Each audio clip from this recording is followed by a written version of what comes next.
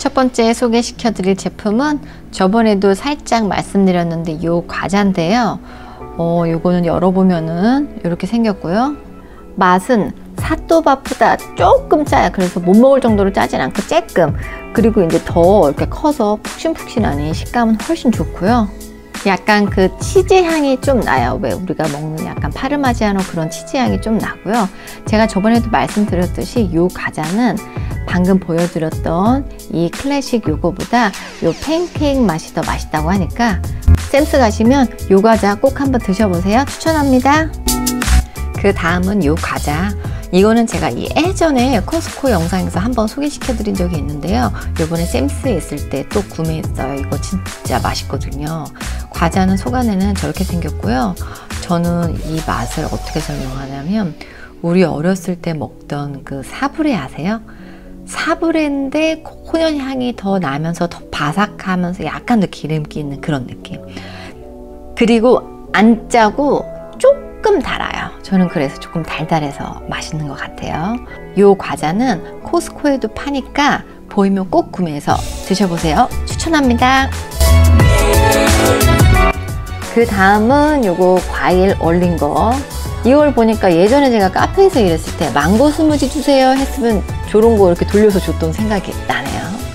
요거 보니까 복숭아, 망고, 파인애플, 뭐, 그런 딸기 이렇게 다 이제 과일이 얼려져 있는 거고 너무 센스 있게 봉지가 저렇게 다섯 개 따로따로 봉지가 돼 있어서요. 전 너무 좋았어요. 그래서 스무디 한번 만들어 봤고요. 저처럼 승리를 급하신 분들은 저거 전자레인지에 30초에서 1분 돌리면 갈리기가 딱 좋은 정도로 살짝 녹아 있어요. 저걸로 저렇게 갈았거든요.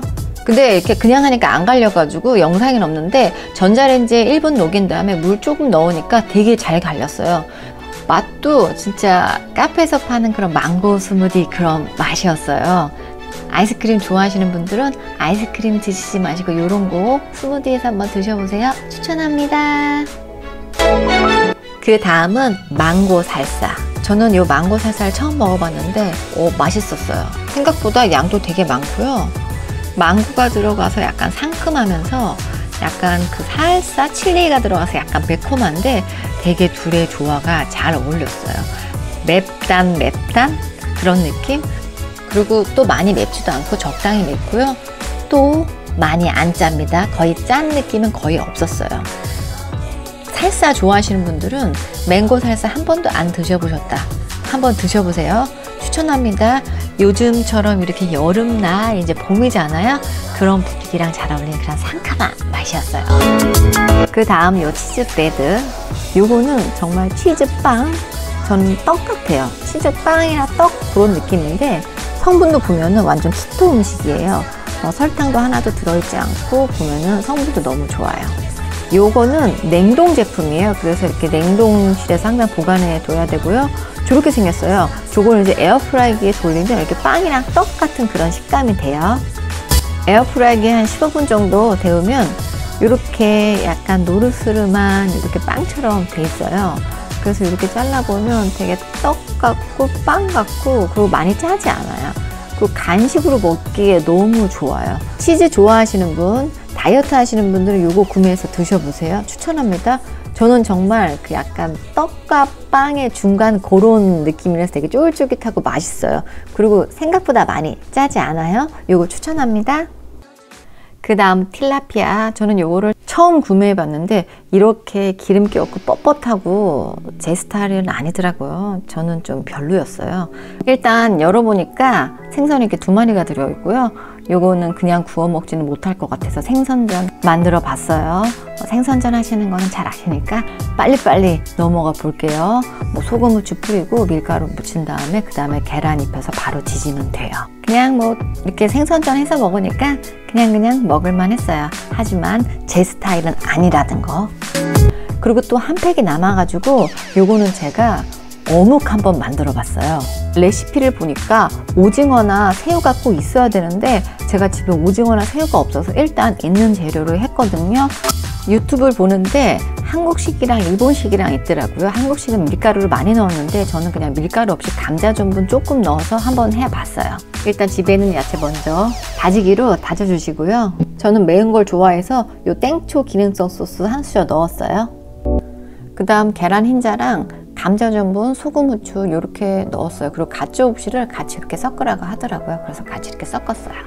그리고 아까 그 틸라피아 그거 물로 한번 헹구시고 키친타월로 물기를 없애신 다음에 좀 전에 반죽물 만들어 놓은 거 같이 넣고 저는 이렇게 갈았습니다. 저 틸라피아 고기 자체가 좀 기름기가 없어서 그런지 이렇게 반죽이 잘 안 되더라고요. 그래서 저는 좀 오래 갈았어요. 그 다음 아까 야채 갈은 볼에 넣으시고요. 감자 전분 두 수저 넣으신 다음 반죽을 해주시면 됩니다. 반죽이 다 되니까 이 상태가 되네요. 이제 튀길 거라 성형 한번 해볼게요. 봉투에 넣은 다음에 끝에 구멍을 잘라서 이렇게 하면 되는데 제가 구멍을 너무 좁게 잘라가지고 처음에 너무 얇게 나왔죠. 그리고 저렇게 하니까 끝에를 조금 다듬어 주기만 하면은 잘 되더라고요. 반 정도만 하고 반은 제가 저 옥수수가 있어가지고 저거 넣어서 같이 반죽해서 해봤어요. 근데 저는 나중에 먹어보니까 이 옥수수 넣은 게 더 맛있더라고요. 성형을 다 하니까 이 정도 나오고요. 이제 튀겨 볼게요. 튀기는 거는 되게 오래 튀기지 않아도 금방 익더라고요. 한 5분 정도 튀긴 것 같아요. 이거는 두 번 튀기지 않고 한 번만 튀겼습니다. 다 튀긴 후 접시에 한번 담아봤어요. 엄청 맛있어 보이죠? 근데 진짜 맛있긴 맛있더라고요. 저는 친수 소스랑 저 스위트 칠리 두 개 다 먹어봤습니다. 근데 확실히 스위트 칠리가 달달하니 맛있더라고요. 저는 개인적으로 옥수수를 넣은 게 더 맛있었어요. 옥수수가 달아서 그런 것 같아요. 그리고 친수랑 그 스위트 칠리 같이 섞어서 먹어도 맛있더라고요. 집에 흰살 생선 있으면 꼭 한번 만들어 보세요. 추천합니다. 오늘 영상은 여기까지고요. 오늘도 제 영상 끝까지 봐주셔서 너무너무 감사합니다. 좋아요, 구독 꼭 한번 눌러주시고요. 그럼 우린 다음 영상에서 또 봐요.